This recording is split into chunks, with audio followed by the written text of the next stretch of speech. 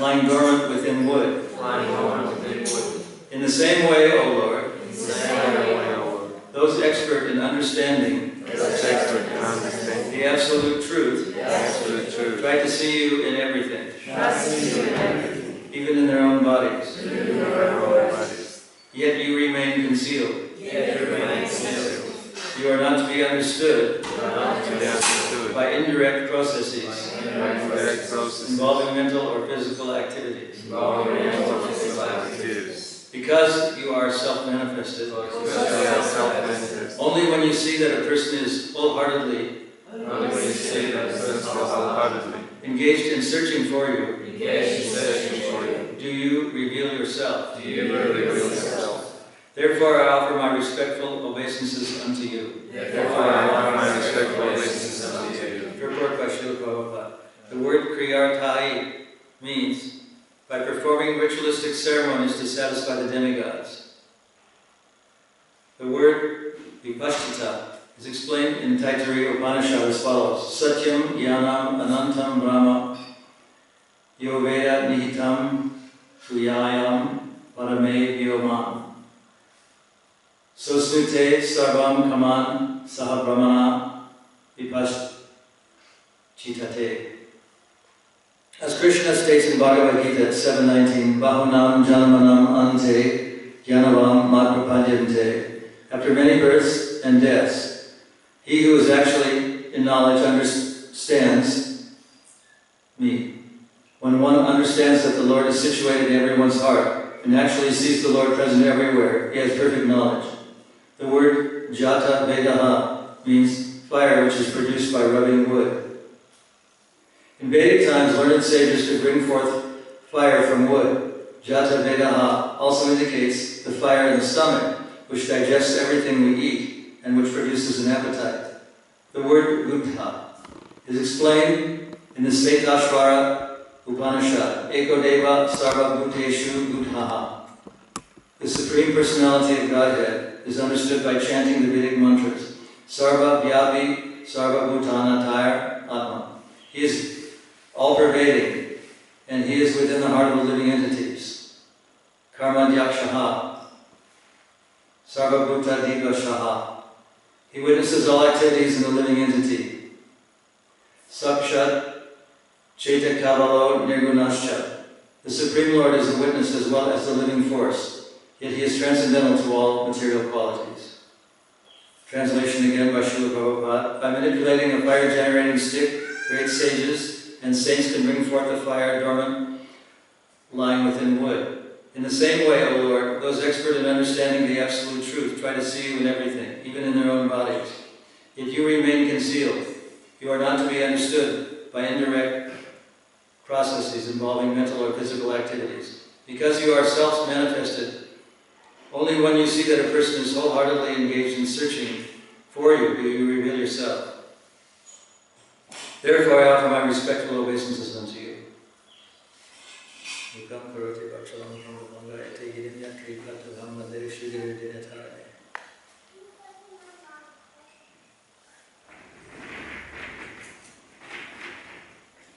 One of the Sanskrit phrases Prabhupada uses in, in uh, one of his purports, and it's not used very often, it's, it's actually a, a phrase that's not given any attribution in Vedic literature, is Bhavagrahi Janardana. And as far as I remember, it means seeing only the devotional qualities in everyone. Or in other words, seeing the good in everyone. Actually, in one sense, everyone is Krishna consciousness, is Krishna conscious even though they don't know it.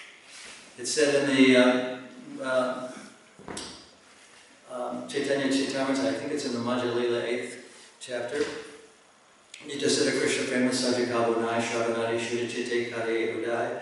And it means that love of, pure love of Krishna is uh, existing within the hearts of all living entities. In other words, everyone, in a sense, is Krishna conscious. Once Prabhupada was asked how many disciples he had, by, I think it was a reporter, and Prabhupada's answer was unlimited. So how can that be? Out of the, you know, the seven billion people or so in the world, how can it be that uh, Prabhupada had unlimited disciples. So in this sense, Nityasiddha Krishna Prema Sadhikabunai Shravanani Chitte Kari everyone is Krishna conscious. In one letter that uh, I wrote to Prabhupada asking about where he came from, he said that when one is a siddha, it really doesn't matter whether one is Nitya Siddha, Kripa Siddha, or Sadhana Siddha. Sadhana Siddha being a perfect person by virtue of practicing Krishna consciousness or practicing the, the uh, rituals and regulations of Krishna consciousness. Kripa Siddha by the mercy of the spiritual master or Krishna himself. And uh, Nitya Siddha being eternally liberated from birth. And in that letter, Prabhupada said that there was never a time when I did not remember Krishna. So in that sense, we could say that the Prabhupada was a, a Nitya Siddha. But when people asked him that question, I think we were talking about this the other day, uh, Prabhupada was pretty evasive. He never said directly where he came from, although different people have different ideas where, where he originated. But in that sense, and he used the metaphor in that letter of different rivers flowing to the sea, that all rivers flow into the sea, and we don't try to find out which rivers they were, because it's all seawater, whether they're, they're coming from this river or that river, the Nile, the Amazon, the Ganga, the Ganga, the Brahmaputra, or whatever. So in that sense, whether one is Nitya Siddha, Sadhana Siddha, Nitya Siddha, Kripa Siddha, it doesn't really matter because one is a, is a Siddha, means perfect person. One is a perfect person. So that verse exists, that everyone in one sense is Krishna conscious, and therefore we approach everyone in this Kali even people who seem to be very, have very demonic qualities, we're approaching them constantly. And in the early days, Prabhupada was, was promoting the idea of restaurants, meaning that very small or baby steps could be very important as, as big giant steps, becoming, entering into a temple and shaving up the next day and becoming a devotee almost instantaneously. That was a giant step. But a baby step, if someone comes to, say, for example, a temple for 10 or 20 years and then finally decides to become a devotee, become an initiated devotee, that that would be all right as well. So it wasn't that, that someone had to immediately surrender completely to Krishna, but if it took place over a long period of time, that was okay too. And in this, in this uh, purport, it's, it said that Krishna is not readily visible to everyone. Um, and, and Prabhupada quotes the verse, Bahunam Janmanam Ante Gyanam Mam Prapajante, after many births and deaths, you actually, as knowledge surrenders unto me. This means that it doesn't happen for a long time, and also that Krishna is not readily available. And he also says that, that uh, Krishna is not, oh, I think it's in the, uh, yeah, it's in the verse. Because you are self-manifested only when you see that a person is wholly engaged in searching for you, do you reveal yourself. You are not to be understood by indirect processes involving physical activities. You are everything, even in your own bodies, yet you remain concealed. So this idea that Krishna remains concealed is not a new idea. It's, it's mentioned in the Bhagavad Gita. Krishna says that he is un, I am unmanifest to those who are, are not devotees. And in the Ishopanishad he asks Krishna to remove the glaring effulgence in front of the personality of Krishna. In the Ishopanishad, in the Srimad Bhagavatam it is said also in the eighth chapter of the first canto, Evam Jivanikakshanam, the one cannot easily see Krishna, that Krishna surrounds himself by a veil, and he's only available to those devotees who are eagerly seeking him, and not to all, all the others. So he's not so easily found, and therefore it is not so easy to become Krishna conscious because Krishna is not readily available, not easily available for everyone. It requires a lot of energy, a lot of, a, a lot of endeavor. One of the things that, that, that Prabhupada taught us was the principle of yukta vairagya. And sometimes that's used in the wrong way. Sometimes people think that um, just going to restaurants or playing rock music in, in, in, in the name of Krishna, with Krishna's name uh, on their tongues, is, is a valuable thing, but sometimes that's misused. And uh, so, in a way, technology can be a, a curse. It can uh, delude one from Krishna consciousness. There was a time when devotees were practicing something called the road show. I think it was in 1971 or 72. There was something called the road show. And it was a very popular thing, and, and Prabhupada saw the, the uh, slides of this, this uh, thing called the Road Show, and it was almost made into a, a, a Broadway in New York, Broadway musical, because it was very interesting. Devotees were singing, they were chanting, and they were, they were performing dramas. And Prabhupada saw the slides, I was there, and it was very interesting. But the next day, several devotees started playing with guitars and, and, uh, and drums, with trap drums, sort of you know regular rock, rock and roll type of drums. And uh, it became sort of a, a, a fashion, an obsession almost, with a lot of devotees that they, they thought, oh, Prabhupada liked the road show, we can, we can play rock and roll music, we can, we can imitate this, this thing. So there, then the pendulum kind of swung back the other way, and, and Prabhupada said that this is not proper, that we should be playing these kinds of drums in, in the temple compound, that we should be playing guitars. And he said that in the temple, only, only kartals and mridanga will be allowed. And then later on, he, he conceded to, to let the harmonium be played. But, but people had abused the principle of yukta vairagya. Even though Prabhupada himself used it, books like these were produced with computers and very modern technology. And, and, and so in Prabhupada used technology and used the principle of yukta vairagya himself. But again, again, he warned us that we have to be very careful because in using this process of yukta vairagya, we, we can be misled or we can mislead others. It's very easy to, to uh, fall prey to Maya by using this. So Prabhupada, in one sense, was very liberal, but in another way, he was very conservative. In, in many lectures, he quoted Chanakya Pandit. It's interesting to note that Chanakya wasn't even a Vaishnava, at least in pictures I've seen this kind of a sort of a Shaivite tilak with three, three strands going in a horizontal fashion, which means he wasn't a Vaishnava, but he's quoted, and Prabhupada even memorized several of his uh, verses that were in Sanskrit. Um, one of them that I remember was that that, uh, that all that, that the that even a very that the um, the essence of education is that a, that a male human being should see all females as his mother. All he should see all others' possessions as garbage in the street, and he should see all others as himself. So this was a, a very insightful way for a non-Vaishnava to cite what real education was. And Prabhupada valued education. Obviously, he valued it very much. He was translating very late into the night, every day, almost every day, books like these.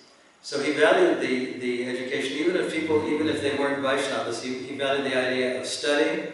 And at one point he said that we, when we give classes, we should give classes from the purports that he writes, and he said once that there were his devotional ecstasies, and there would be the law books for the future of mankind. And at one point he said that we should cram the purports, and, and that's a, a form of uh, the word cram. I don't know if we use it here, but we use it in America a lot for studying, for, for memorizing, and, and getting ready for exams and tests in universities and schools. The word cram. So he said that we should cram his purports. In other words, he liked studying, and he, he uh, gave these different degrees that we should have Bhakti, uh, Bhakti Shastri, Bhakti and Bhakti Sarvabhauma. I don't know if it's ever been implemented, but he, he implemented it. When I was in England, we had a Bhakti Shastri test. It was a very simple test, but he wanted to get the process rolling. So the Bhakti Shastri test consisted of something like 10 questions. The first one was, who is Krishna? And there were sort of essay questions, and everyone passed, and everyone got, the, got high marks on the exams. And there were certificates issued for everyone who was a Bhakti Shastri. Uh, Jamuna made the certificates, and they, they, they had a golden seal with, with red ribbons hanging down from them, and everyone thought they were a very valuable thing. So it seems that the whole the idea of educating uh, was very important even from, from the early days. That was back in, in uh, 1969. And I think it hasn't really, I mean, people do do take Bhakti. I think Bhakti Shastri is available electronically now, isn't it? But it's a very complicated thing, and it's not very standardized. And I don't know about Bhakti Sarvabhauma and Bhakti Vaibhava, those exams, but that was a very valuable and very important thing to Prabhupada. So in one sense, the, the Krishna consciousness movement is very, very um, conservative. In another sense, it's very, very liberal. It's liberal in the sense that we, we do a lot of networking. We have sometimes conferences with non-Vaishnavas, with Christians, with Muslims, and so on. And it's also very strict and very uncompromising in that, that uh, you know, we, we think of the Supreme Lord as a person, as the person Krishna, and, and it's written in the Bhagavad Gita and in other places throughout Vedic literature that, that we can't easily find Krishna, that Krishna can only be, be found by people who are, are very, very um, eager to see Krishna or to hear about Krishna or to know Krishna. Very, very, and Prabhupada himself was very uncompromising in his lectures. He said that, that uh, you know, we're not after adoration, cheap adoration from the public or words to that effect, but we're after, we, we're after Krishna. That's the most important thing. And if we're, if we're too concerned about what people think about us, that's not a good thing. We should be in, in trying to observe what, what Krishna wants and trying to observe what Krishna wants. So I think I'm going to stop speaking here and, see if anyone else wants to say anything. I don't know what the, the timing is like or how, how long we have. Yes, Rupert? Maharaj, um, you were saying that um, Prabhupada made that statement that uh, everyone is his disciple. Hmm. There was one devotee on Prabhupada remembrance, was uh, Makanlal. I think he's a Swamiga. Not sure what his name is, but he was saying um, that uh, Prabhupada said that, and then he said uh, some accept, some accept it and some don't. Hmm, that's probably, probably true. I heard that Prabhupada said that they don't know, but they don't know. And I think the devotee's name was Makan Lal. And, and uh, yeah, he's very, very well known. His brother is or was, is Narayan. Very, very American devotees. But it's interesting that, that in, in a sense that, that everyone is Krishna conscious and that Krishna is within the heart. He's the, as the super soul, of course, he's within everyone. And this is a very important verse, Nitya Krishna. Uh, uh, Nitya Krishna Prema Saja Kavanai Shravanadi Shuddha Chitte Kare Udai. Because it, it, it indicates that, that everyone and anyone can be devotee of Krishna. I often tell people that the, the person who delivers the mail, the most unlikely person could be your child's guru. We don't know. So in that sense, we have to approach everyone. And because Krishna is in the heart of every living being, and, and by the process of, uh, part of this verse says, by the process of chanting Hare Krishna, the, the Krishna consciousness can be awakened. And, and there's the saying that there's a small spark and it has to be fanned into a big, into a big fire. It has to be made Krishna conscious. So there's that little spark in every living entity, whether human or, or an animal or anyone and it just has to be brought out. So, so the process of Krishna consciousness, of preaching Krishna consciousness, is sort of an awakening. It's awakening that dormant or sleeping Krishna consciousness that's within every conditioned soul. It's a very important point. So yeah, Prabhupada and even the devotees, I think, were very amazed when, when, when uh, that question was asked, how many disciples do you have? And he said, everyone. It's unlimited. Uh, everyone is my disciple. He said unlimited. But I think that's the meaning of it at least from my understanding, that's the meaning of it. That everyone is Krishna conscious. So everyone is kind of a disciple in that sense. Yes? I just had a comment about the Bhakti Shastri. Mm-hmm. In the um, course that Lavendra's doing in Bangladesh, um, previously it was a prerequisite for the students to do the Bhakti Shastri exam. Uh, but now the um, Wales University of Chester that they um, study through, it accepts the Bhakti Shastri as uh, credits to the degree. Well, that's good. That's an indication that the Bhakti Shastri is becoming standardized. Because bef- up till this time, at least, there has been no, no known standardization throughout the world of Bhakti Shastri exams. But maybe through Lampeter University, it's going to become standardized. Somehow it has to become standardized. Yes? Um, with um, the, um, the instruments being played, the rock instrument, and it seemed like it was Krishna conscious because everything can be used in Krishna service. But where Prabhupada liked the road show, he was also very strict about the instruments being played in the temple being very unconditional. But with um, the world constantly changing so much, and we've always got to adapt to new circumstances. Have to adapt to Um, new circumstances. new circumstances.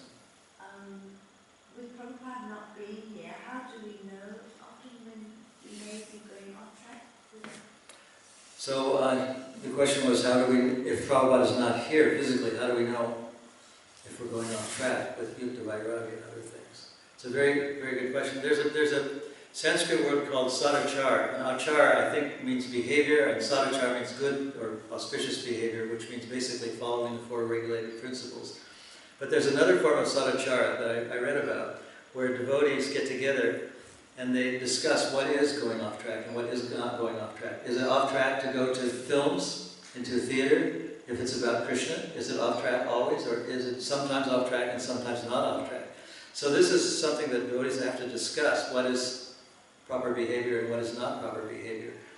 And some people say, I think sociologists say that time, place, and circumstance are the, are the uh, factors that, that are, are most important. And others say they're not, not so important because it's a form of compromise, adapting to time, place, and circumstance. But now we do it automatically. We have other instruments. There's a djembe or something like that in this temple, there was. And uh, sometimes it's necessary. And, and on Harinam now they're playing accordions very commonly, which, which in Prabhupada's time were never used. But uh, I would think, I don't know, I'm not uh, privy to these Sadachar conference, uh, conferences, but I think that that's been accepted. But again, you know, the best thing that I know is to is to is to um, take advice from senior devotees to find out what is proper behavior and what is not proper behavior. Because, as you say, we do have to adjust to to uh, modern day circumstances. Yes, Hare Krishna. So, any other uh, comments or questions? I don't, I don't know if I can answer all. Yes. Marriage, um, there was some, some complaining in Prabhupada's time that devotees doing book distribution, um, no, we're disturbing people, you know, in their like, in their free will, in their life. The Prabhupada made some point that, well, no, people are, they're disturbed by so many things already in the material world, and, and this, no, no, intervening in, in their life it's for their eternal benefit.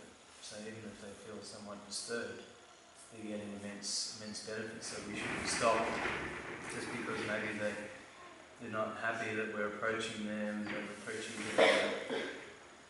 Um, we shouldn't stop preaching because you know, we're giving them the greatest, um, the greatest gift, even they don't realize, they don't realize it. Probably. Yeah, Rupa Raghunath, I'm, I'm just repeating what he said for this, people who are listening in different places or other countries, was saying that uh, there, uh, controversy arose where some people were saying that we shouldn't get in, into people's space and interfere with their, their personal lives by, by preaching because they didn't want to hear it.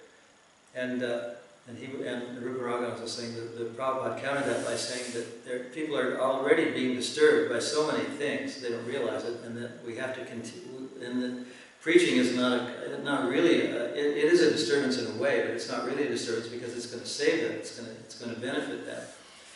And I, I think that uh, the Prabhupada, in, in many ways, defended the devotees and defended the, the concept of preaching by saying that, that we it's necessary actually to Krishna consciousness is in every person. It's necessary to awaken that consciousness. Therefore, it's consciousness. Therefore, it's necessary to approach everyone and and uh, anyone with Krishna consciousness, even if they, they feel inconvenienced by it. Because, because there's a Krishna conscious spark in every person. It just has to be awakened. Sometimes people we find, many, most people are so covered over that just trying to give them a book is not, is, you know, they just refuse to listen. But again, uh, the idea of preaching in, in, in direct ways or, or very subtle ways is very important because, because otherwise Krishna consciousness is not going to expand, it's just going to disappear with a few people living in the temple and it's never going to grow. But Krishna consciousness is growing. I, where, where I come from, in America, I, I see that, uh, that uh, most of the people, I don't know if it's, if it's a phenomenon here, but most of the initiated devotees don't actually live in the temples or temple compounds. They live outside the temples. And I think it's, it's true here in Australia too, that most of the initiated devotees don't live in temples. I don't know if that's true or not, but it's, it's, it's a trend anyway, it's, it's growing. So, um, you know, in a, but in, a, in another sense, the temples are the, are the, the, the center or the bulwark, the basis of, of, because that's where the installed deities are located. They're the basis of Krishna consciousness. So that they're very important. It's very important to come to the temples, to attend the temples, even if we don't live in the temples So the temple grounds. It's, it's very important to, to know what those are and, and to, to uh, frequent them as much as possible. That makes sense?